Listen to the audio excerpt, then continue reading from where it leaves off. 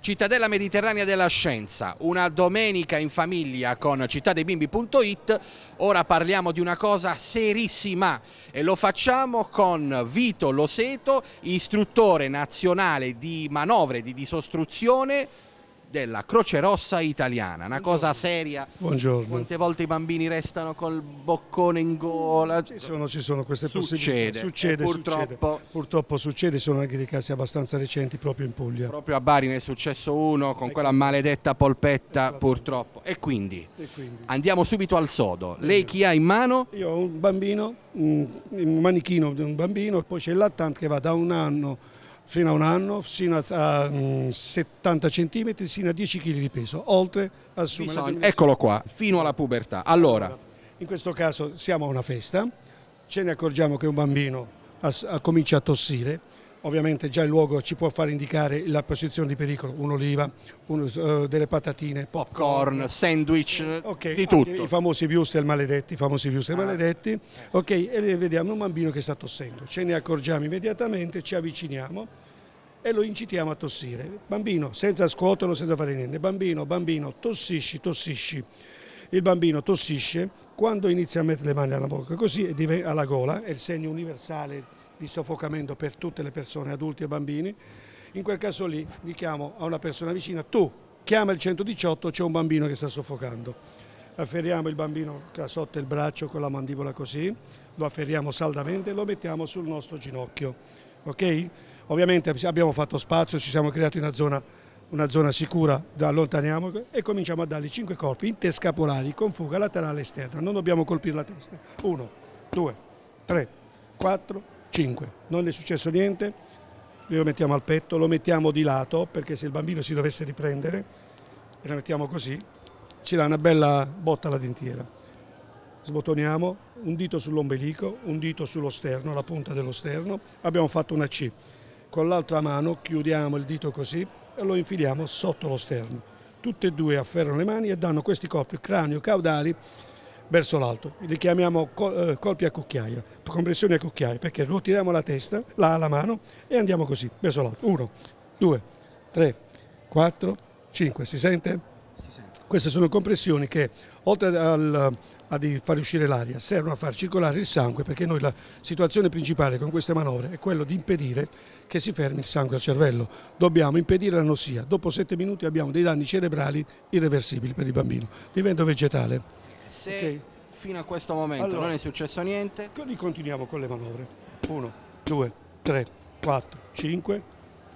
Non è successo ancora nulla, continuiamo. Queste manovre si continuano all'infinito, fin quando non arriva il 118, non si è ripreso o disgraziatamente ha terminato, diciamo, non è più cosciente, in questo caso dovremmo fare metterlo per terra e fare le manovre di rianimazione cardiopolmonare. ma quella è Ok, un'altra cosa. È un'altra cosa. In questo caso, prima ancora di fare così, controlliamo il cavorale, se c'è qualcosa usciamo fuori e in questo caso io chiamo il 118 e dico le manovre che sto effettuando, che ho effettuato e l'intervento specifico.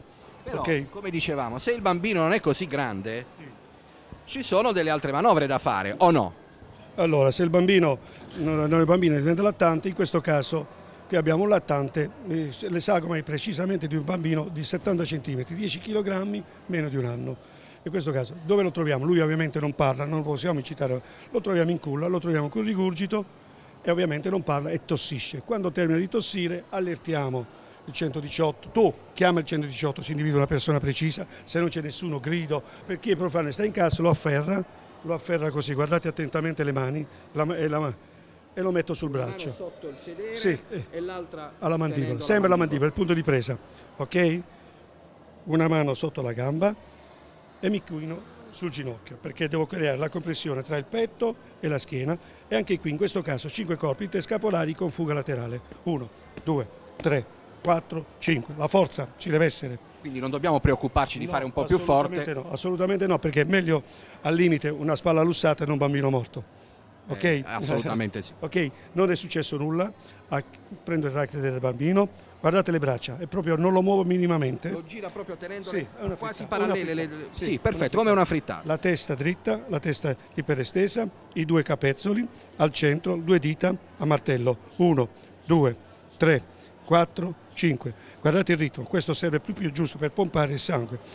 Svuota, riempi, svuota, riempi, svuota, riempi, svuota, riempi, svuota, riempi. Ok? Riprendiamo le manovre. 1, 2, 3, 4, 5. E sì, all'infinito. Anche in questo speriamo che caso. arrivi il 118 Oh, che no, ci dà vabbè, una mano. diciamo, no, altrimenti- diciamo che in questo caso non aspettiamo il 118 perché queste manovre sono risolutive all'80%. Quindi dovremmo riuscire a far tornare no- la statistica dice che al secondo passaggio, a meno che il bambino non abbia delle disfunzioni, abbia delle- all'80% dei casi abbiamo risolto il problema. Vito, il bambino fortunatamente si è ripreso. Mamma mia, mi stavo agitando. Cosa facciamo una volta che il bambino si è ripreso? Prima cosa ci calmiamo noi. Eh, meno Eh, male, beh, perché io eh, sono molto agitato. Ok, Ci, come- ci ci accomodiamo magari, facciamo accomodare accanto a noi il bambino e attendiamo i soccorsi, perché il bambino dopo eh, la, la fuoriuscita del corpo estraneo ha bisogno di essere visto dal dottore. È fuoriuscito tutto, è metà, ha subito dei danni.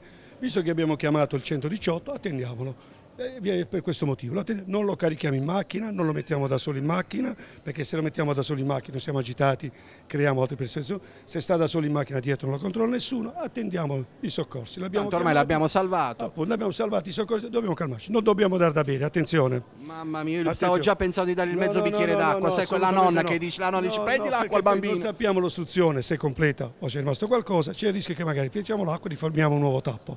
Perciò calma assoluta, aspetta, attendiamo. E non date l'acqua, lasciate perdere la nonna.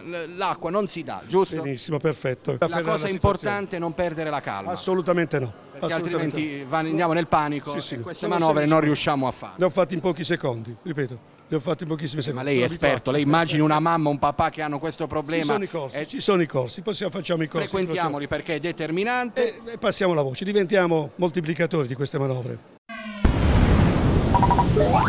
Hehehehe